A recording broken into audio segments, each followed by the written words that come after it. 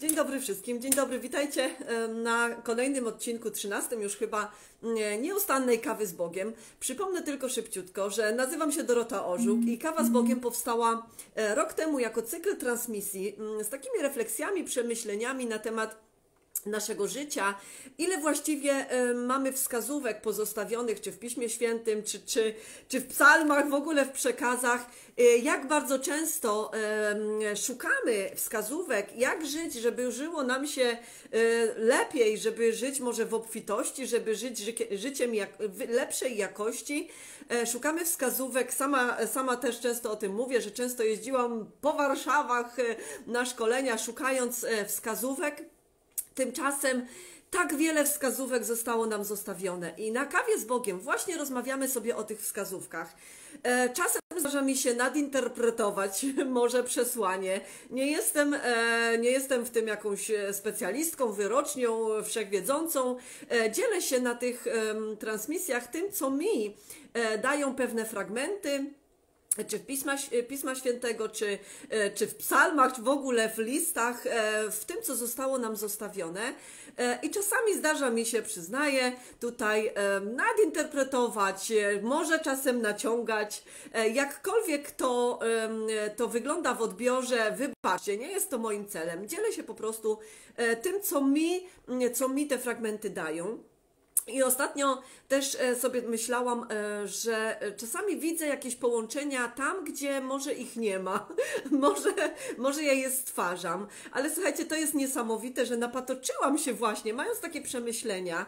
I to jest, e, to jest taka sytuacja, która wskazuje nam, że nie ma przypadków. My często myślimy, że a przypadek coś tam zrobił.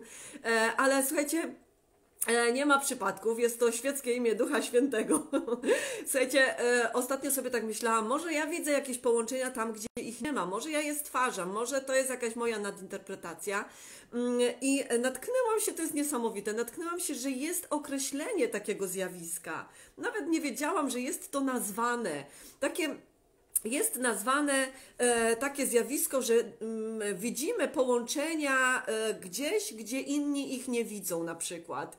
E, I mm, e, jest, to, jest to nazwane, ale też przy tej nazwie, jak sobie wygooglujemy, to jest określenie, że jest to, że jest to nieprawdziwe widzenie tych połączeń. Zostawiam to Waszej interpretacji. Nazwa e, na to zjawisko brzmi apofenia. Apofenia. Świetna, e, świetnie to brzmi. Dobra, witam w trzynastym odcinku i mm, tylko powiem, czekajcie, bo nie wiem, czy są komentarze, nic nie widzę. Bardzo mamy dzisiaj mało czasu. Poproszę tylko dajcie znać, czy wszystko w porządku, bo ostatnie są perypetie z internetem. E, mm, więc e, wczoraj e, moim gościem była Dana Łuszczki. Kto, kto był, to wie, kto był, to, to się wzruszył zapewne. Dana, Dana była moim gościem, ponieważ Dana, mm, Dana Łuszczki zamieściła kiedyś mm, taką piękną modlitwę na swoim fanpage'u, na, na, na swoim Facebooku, E, to było rok temu i ta modlitwa mnie bardzo wzruszyła. Do tego stopnia, że tę modlitwę zamieściłam e, w książeczce Kawa z Bogiem, książeczce, która powstała rok temu wskutek właśnie tych intensywnych transmisji i przemyśliwań, przemyśliwań, przemyśleń. E, modlitwa, e, zachęcam Was do obejrzenia, kto nie widział wczorajszej transmisji. Jeśli Was zainteresuje modlitwa, to możecie ją sobie e, znaleźć, może na Facebooku dany właśnie, ale także w książeczce Kawa z Bogiem, która jest dostępna na www.dorotoozok.pl. I co dzisiaj chciałam powiedzieć? Dlatego, że wczoraj moim gościem była właśnie Dana, rozmawiałyśmy o tym, jak jak to czasami e, w życiu bywa, i właściwie często bardzo, że czegoś chcemy, o coś się modlimy, chcemy coś tam dostać, chcemy, żeby coś w naszym życiu się pojawiło i zwykle oczekujemy takiego gotowca, już gotowego produktu, takiego podanego na tacy gotowego produktu. Ja się wczoraj dzieliłam tym, że wiersz mi ten dał. Dzień dobry, Agnieszka, Jacek, fajnie, że jesteście, dziękuję, że jesteście. Będę, będę bardzo szybko i chaotycznie znowu dzisiaj mówić. Słuchajcie, E, Wczoraj, e, wczoraj się dzieliłam tym, że rok temu przeżyłam wręcz wzruszenie e, wskutek przeczytania tej, tej modlitwy, tego wiersza, ponieważ uświadomiłam sobie, że właśnie tak postępowałam, e, że właśnie tak chciałam. Chciałam gotowych produktów, chciałam gotowych rzeczy w moim życiu. Nie, nie, nie miałam takiej świadomości, że do, do rzeczy, do produktów, do, do, do, do tego, czego chcemy w naszym życiu, po prostu mamy dojść. Że często modlimy się o coś i modlimy się o coś w postaci gotowej, a dostajemy sytuacje, możliwości, szanse, lekcje, dostajemy do naszego życia, przychodzą ludzie, e, z którymi mamy to zrobić na przykład. I to było dla mnie bardzo olśniewające. Bardzo, bardzo mi to podniosło świadomość, że już e, właściwie teraz, e, za każdym razem, kiedy czegoś potrzebuję, coś, o coś się na przykład modlę, to już wie, już e, moja postawa nie jest oczekiwania na gotowe, na gotowe, tylko moja postawa już jest taka, że otwieram oczy, uszy, zwiększam uważność na to, co się wydarzy w najbliższym czasie, bo jest, będzie to odpowiedzią na moją modlitwę. Będzie to odpowiedzią w postaci możliwości, szans, w postaci e, okoliczności, które powstaną, żeby moja modlitwa, e, bo moja modlitwa jest wysłuchana i żeby moja modlitwa mogła e, się ziścić. I słuchajcie, dlaczego to mówię? E, Mówię to dlatego, że dzisiaj będziemy sobie rozmawiać o tym, Jezus powiedział: Ja jestem drogą. I tylko się tak szybciutko z Wami podzielę, że mm, natchnęło mnie na ten temat. E, wczorajszy wieczór mnie natchnął, ponieważ. Cześć Basia, jak miło. Słuchajcie, wczoraj wieczorem nagrywałam dla mojej e, grupy, bo jestem e, w Mary Kay. Jest to taka organizacja dla kobiet, gdzie.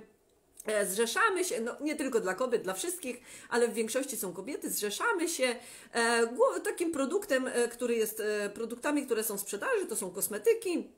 E, I, I wczoraj e, nagrywałam filmik dla, e, na mojej grupie dla, dla osób, które, które są wokół mnie, właśnie w środowisku Mary Kay, mm, zachęcając do tego, żeby kolejne osoby, żeby, żeby się odważały nagrywać, nagrywać jakieś filmiki, nagrywać jakieś materiały, mówić o produktach, pokazywać ich używanie.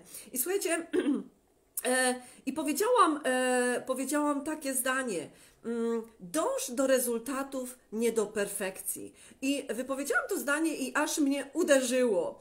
Bo słuchajcie, jak często jest tak, że w naszym życiu, e, wiecie, i to nie chodzi o rezultaty, zaraz powiem o co dokładnie mi chodzi, ale często jest tak, że w naszym życiu dążymy, nie wiem, do perfekcji, że perfekcja właśnie tutaj. E, Nawet słuchajcie, ten gotowy produkt, który chcemy, żeby w naszym życiu był, nawet to, o co się modlimy, o czym marzymy, my chcemy, żeby to się w postaci gotowej, w postaci gotowej, idealnej, perfekcyjnej nam w życiu pojawimy, pojawiło. I taka jest właśnie korelacja pomiędzy, mm, e, pomiędzy modleniem się o marzeniem o coś gotowego właśnie, a, a tym, że my w naszym życiu też właśnie chcemy, staramy się bardzo często być tacy perfekcyjni, tacy gotowi, tacy gotowi, właśnie tego słowa użyję. Stąd ta korelacja, bo słuchajcie, stąd pojawiło mi się to właśnie zdanie, ja jestem drogą. Co, co w ogóle e, sobie pomyślałam, e, że w takie połączenia gdzieś tam w mojej głowie się pojawiły. Em, Słuchajcie, wczoraj było powiedziane, że mm, w, na, w naszym życiu my taki główny błąd, jaki popełniamy, ja, ja właśnie e, rok temu sobie go uświadomiłam, aż się wzruszyłam, jak przeczytałam tę modlitwę. Uświadomiłam sobie, że dążyłam e, w swoim życiu do takiego właśnie bycia takim gotowcem, czyli byciem, bycia takim, nie wiem, od szablonu perfekcyjną. I słuchajcie, nie o to chodzi, że nie o to chodzi, że, e, że ja po prostu wzrastałam w swoim perfekcjonizmie, ale chodzi o to, że my bardzo często, słuchajcie, zakładamy stan gotowy i dążymy do stanu gotowego, jakiegoś idealnego, takiego wręcz jak od szablonu, nie zakładając, że do, do wszystkiego prowadzi nas jakaś droga właśnie. I słuchajcie, ja jestem drogą. To, to jest dla mnie niesamowite. Co znaczy ja jestem drogą? Uświadomiłam sobie, że nasze życie właśnie jest drogą, że za każdym razem, kiedy e, chcemy być w swoich zachowaniach, w, swoich, e, w swoim życiu właśnie tacy perfekcyjni, to w takich sytuacjach popełniamy taki niesamowity błąd, tu nawet bym językiem, językiem e, religii powiedziała grzech popełniamy taki grzech, że, mm, że odrzucamy siebie, że to było dla mnie olśnieniem, że e, wręcz chcemy postawić się ponad Boga, bo słuchajcie, e, uświadomiłam sobie, że On nie, nie żąda od nas perfekcjonizmu. On nie oczekuje od nas perfekcjonizmu. To my od siebie, od siebie perfekcjonizmu oczekujemy. To my y, oczekujemy od siebie więcej niż oczekuje od nas Bóg. I słuchajcie, to było dla mnie to było dla mnie olśnieniem, że za każdym razem, kiedy się wyżymasz, za każdym razem, kiedy się frustrujesz, że nie zrobiłaś czegoś, nie zrobiłeś czegoś perfekcyjnie, że nie wyszło tak, jak byś chciał, bym chciała, mówię też do siebie tutaj, za każdym razem, kiedy się frustruję i rozliczam, że nie zrobiłam czegoś tak doskonale, jak powinno być zrobione, to za każdym razem popełniam grzech samo odrzucenia, bo nie tego i odrzucenia właściwie ja powiem, że Boga, tak, e, bo nie tego On od nas oczekuje.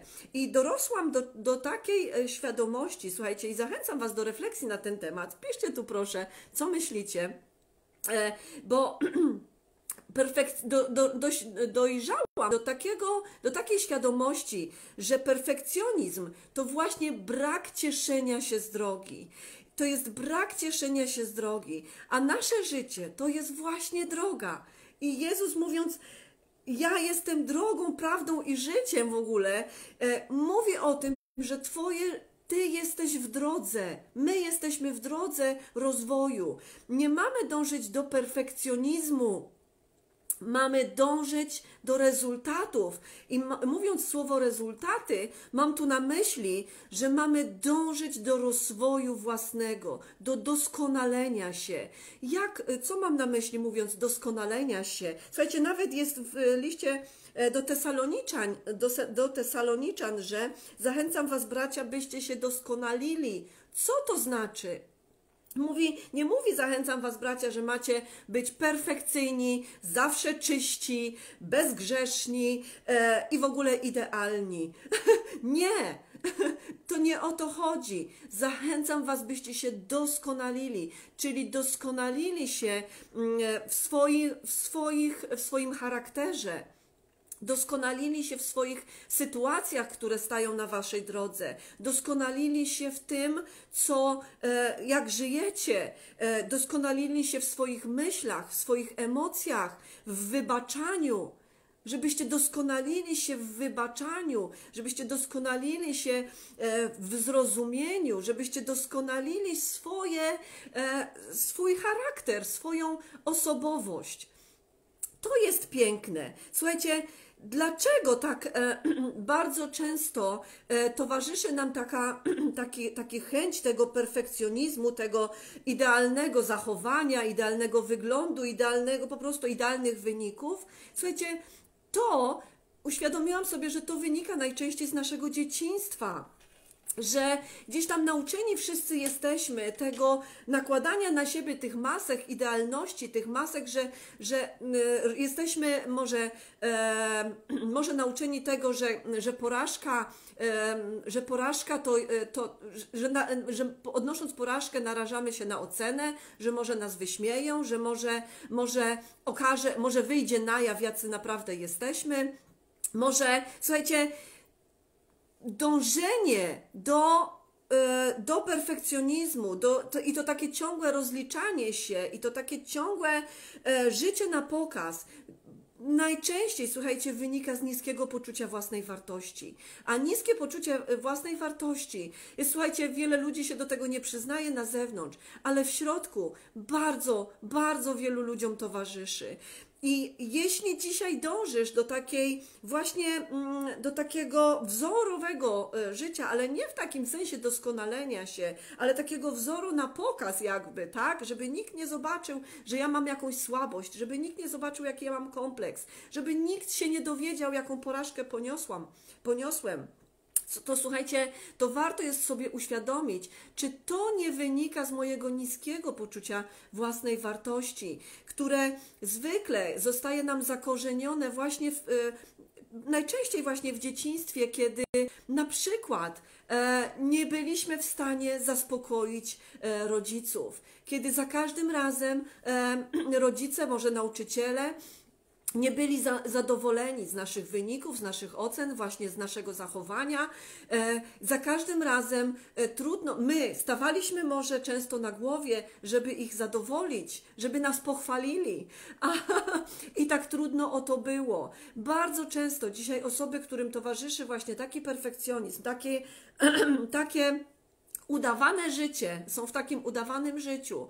E, korzenie, korzenie tego e, powstały właśnie w sytuacjach, w których najczęściej w dzieciństwie nie byliśmy w stanie zadowolić e, otoczenia. I słuchajcie, Słuchajcie, to jest ten lęk przed oceną, jest po prostu, może być dla nas bardzo paraliżujący. Mówię o tym, bo, bo uświadomienie sobie tego, przepraszam, przepraszam, bo uświadomienie sobie tego może być bardzo wyzwalające.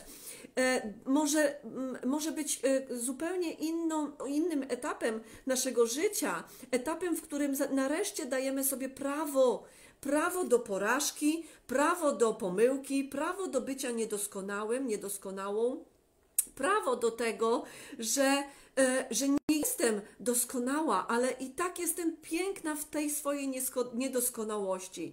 Dla mnie, słuchajcie, ten temat jest bardzo e, emocjonalny, bo to wszystko, o czym tutaj mówię, bardzo mocno doświadczałam, przechodziłam na sobie, właściwie cały czas przechodzę.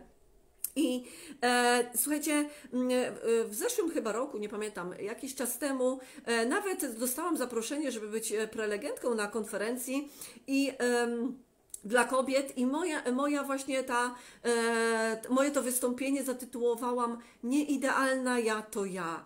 I e, tak sobie myślę, że jak czas pandemii minie, może kiedyś uda e, nam się zorganizować taką konferencję dla kobiet Nieidealna ja to ja. Jakie to jest ważne, żeby o tym rozmawiać, bo jakby tu każdy z nas teraz miał się otworzyć i przyznać do swoich słabości, to wielu, z wielu z nas mogłoby wypłynąć, jestem pewna, że tak by było, że wypłynęłoby właśnie przyznanie się do takiej słabości, że chcę być idealna w odbiorze, nie dla siebie, nie dla Boga, nie po to, że chcę e, to jest właśnie często, um, często taki, taka, taki mały, wielki błąd, że nie dla siebie, że, żeby czuć w sobie, że się rozwijam, że czuję, że jestem zdolna do coraz większego wybaczania, że mam coraz lepsze relacje, że coraz mniej się kłócę, że już coraz mniej oceniam siebie, że coraz mniej oceniam innym, że może coraz mniej e, mówię do innych. E, negatywnie. E, być może mam coraz rzadziej negatywne myśli o sobie, o innych. To jest to jest ten proces wzrastania, to jest ten proces doskonalenia się. Nie jest procesem, nie jest doskonaleniem się e, sztuczne, e, sztuczne pokazywanie wyników po to, żeby komuś coś udowodnić, po to, żeby zostać przez kogoś pochwalonym, ale ten proces samodoskonalenia się, właśnie ten proces wzrastania, o którym wczoraj była mowa, e, to, ta droga to jest proces doskonalenia siebie w naszych właśnie decyzjach, emocjach, w naszych myślach, zachowaniach. I słuchajcie, to jest e, dla mnie, to, to było dla mnie takim wielkim olśnieniem. E, mówię znowu chaotycznie, bo mam za chwilę bardzo ważne spotkanie. E, I słuchajcie, ale chcę, chcę przekazać to, co mi gdzieś tam w duszy gra na ten temat. Żebyśmy właśnie może bardziej zwracali, zwracały na to uwagę, że mm, że kiedyś był taki odcinek o zarządzaniu, o tym, że jesteśmy szafarzami e, te, tego, co dostajemy, że nie jesteśmy, e, nie mamy na własność nawet naszych talentów, nawet naszego życia, nawet nasze dzieci nie są naszą własnością. Nic nie mamy, dobra materialne nie, nie są naszą własnością, ale mamy to w zarządzaniu. I słuchajcie, to zarządzanie mi się tutaj bardzo mocno wbija w ten temat doskonalenia się, bo doskonalenie się to jest zarządzanie potencjałem, który, który został mi dany. To jest zarządzanie, e, doskonalenie się, to jest zarządzanie tym, co zostało mi dane w wyposażenie, nie marnowanie tego wskutek rozliczania się, że coś tam mi nie wyszło ale zarządzanie to jest właśnie to doskonalenie się. Tak jak w liście e, do Tesaloniczan, zachęcam Was, bracia, byście się doskonalili, czyli zarządzali, pomnażali swoje talenty, swoje e, możliwości, swój, swoje, e, swój potencjał. I słuchajcie, uświadomienie sobie tego, że za każdym razem, kiedy rozliczamy się z takiego bycia nieperfekcyjną, to za każdym razem właśnie popełniamy taki grzech, jakby stawań, mm, e, stawiania siebie wyżej, właśnie nawet niż Bóg, bo On e, to jest niesamowite, e, niesamowicie uwalniające, jak sobie uświadomimy, że nie oczekuje od nas perfekcjonizmu, ale oczekuje od nas drogi, bycia w drodze doskonalenia się, bo doskonalenie się to jest absolutnie w tych, doskonalenie się w tych obszarach, które, które powiedziałam, że ja się właśnie często dzielę takim zdaniem, nie wiem skąd to, yy, ale takie zdanie mi bardzo mocno się wbiło w serce, że mam gorące pragnienie do tego, kim się staję. Jeśli masz gorące pragnienie do tego, kim się stajesz, to znaczy, że obserwujesz w sobie, jak się w sobie doskonalisz, w swoich właśnie w wybaczaniu innym, e, w zrozumieniu, e, w, wiecie, w, w, ty, w tym, e, że, że coraz mniej masz konfliktów z innymi osobami, że y, y, potrafisz postawić człowieka ponad sytuację, że potrafisz mu wybaczyć, że potrafisz o tym rozmawiać, y, o konfliktach. Słuchajcie, masz wtedy gorące pragnienie do tego, kim się stajesz, bo wiesz, że rok temu byś jeszcze nie wybaczyła komuś takiego czegoś, co dzisiaj możesz wybaczyć z łatwością. to jest takie cudne. E, słuchajcie,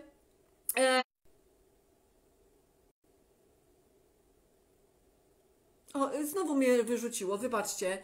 Więc reasumując, e, bo muszę kończyć, reasumując, uświadomienie sobie, że mm, Bóg nie wymaga od nas e, perfekcjonizmu, ale wymaga od nas pokory, czyli doskonalenia się w sytuacjach, które są w naszym życiu, doskonalenia się w relacjach z innymi, doskonalenia się właśnie w wybaczaniu, doskonalenia się w wierze, doskonalenia się w wierze. Bo perfekcjonizm to nic innego jak uwikłanie swojego umysłu. Perfekcjoniści zwykle, e, czyli ci wszyscy my pewnie, którzy dążymy tylko do tych e, efektów końcowych, do tego, e, do tego rezultatu końcowego, nie zakładając, że prowadzi nas droga. Nie cieszymy się właśnie z drogi, ale frustrujemy się brakiem efektów, jakie byśmy chcieli. Nie cieszymy się z drogi. Powtórzę, nie cieszymy się z drogi, ale frustrujemy się brakiem rezultatów. I słuchajcie, e, to jest nic innego jak właśnie lęk, lęk przed porażką. To jest zakładanie, że nie mogę, nie mogę sobie pozwolić na porażkę. Jeśli zakładamy, że nie możemy sobie pozwolić na porażkę, to. E, to mamy wyższe oczekiwania co do siebie niż ma e, e, oczekiwania do nas, w stosunku do nas Bóg. Jakie to jest niepojęte, nie, jakie to jest niepojęcie uwalniające. Dajcie znać, co Wam to mówi. Będę musiała kończyć, bo mam kolejne ekscytujące równie spotkanie, ale to jest takie cudne że, że, że tu jesteście. Dziękuję Wam bardzo, bardzo serdecznie. Dajcie koniecznie znać, czy, e, czy, czy macie już książeczkę Kawa z Bogiem. Jeśli nie, to zapraszam, bo jest oferta specjalna razem po, z połączeniem w połączeniu z dziennikiem 365 dni budowania siebie, dziennikiem, który absolutnie podnosi świadomość, e, dzięki któremu możemy czuć, jak wzrastamy E, często właśnie mówię, że pisanie dziennika możecie pisać jakikolwiek, nie musi to być ten. Ten jest o tyle, e, o tyle mm, e, fajny, ponieważ jest już takim fajnym narzędziem stymulującym nasze myślenie, bo są refleksje na każdy dzień, bo, bo są cytaty, bo są pytania, które możesz sobie da, da, postawić, które odwrócą Twój umysł w odwrotną stronę niż może ma nawyk myślenia. E, więc zachęcam Was do odwiedzenia www.dorotaozo.pl, ale przede wszystkim do pisania, bo jeśli piszemy, czy to w takiej postaci, czy, czy w innej, możemy sobie wrócić do czasu sprzed, nie wiem, miesiąca, trzech miesięcy, do czasu wstecz i zobaczyć, co pisaliśmy, co pisałyśmy i zobaczyć, czy wzrastamy. Zobaczyć, czy jestem w drodze rozwoju wewnętrznego, czy jestem w procesie wzrostu. To jest przepiękne doświadczenie, często bardzo wzruszające, bo jak sobie przewertujemy kartki i zobaczymy nasz sposób myślenia z czasu jakiegoś przed, e, to, mm, to sobie możemy właśnie uświadomić, jak bardzo się zmieniamy sobie. I słuchajcie, e, więc życie to są lekcje pokory. Więc życie to są lekcje pokory. Nie musimy, jakie to jest uwalniające, nie musimy być perfekcyjni, ale absolutnie mamy, mamy obowiązek e, rozwijania się w sobie doskonalenia się w sobie i e, cieszenia się z tej drogi, bo mm, ja jestem drogą, to jest przecudne zdanie, które nas uwalnia od tego przywiązywania się do, e, mm, do efektu końcowego, chociaż wiadomo, co jest naszym celem naszego życia, ale nawet w kawie z Bogiem właśnie tak olśniewająco o tym pisze, że, e, że czy celem naszym jest niebo? ale nie będę Wam więcej na ten temat mówić. E, dziękuję, że, mm, e, dziękuję, że jesteście. E, pozwalajmy sobie więc na niedoskonałość. E, ja się mogę podzielić tylko swoim doświadczeniem, że w momencie, w którym przestałam mm, rozliczać się za to, że nie jestem perfekcyjna, e, przestałam skupiać się na swoich niedoskonałościach, a dałam im po prostu, dałam sobie prawo bycia niedoskonałą e, poczułam w sobie niesamowite uwolnienie i taki przepływ wręcz, wręcz, wręcz energetyczny, przepływ, e, e, takie prawo do bycia po prostu sobą. E, wtedy uruchamia się absolutnie proces wzrostu, bo nie ma tej blokady e, rozliczania się, nie ma tej blokady właśnie takiej, mm, takiego hamulca, e, czyli analizy przed każdym e, słowem, które wypowiem, przed każdym zachowaniem, przed każdą decyzją, którą podejmę. Nie ma takiej analizy mm, e, paraliżującej bardzo często, analizy, która bardzo często nas hamuje przed po prostu robieniem rzeczy w taki sposób, w jaki dzisiaj możemy to robić więc e, hamuje nas przed robieniem bardzo często czegokolwiek.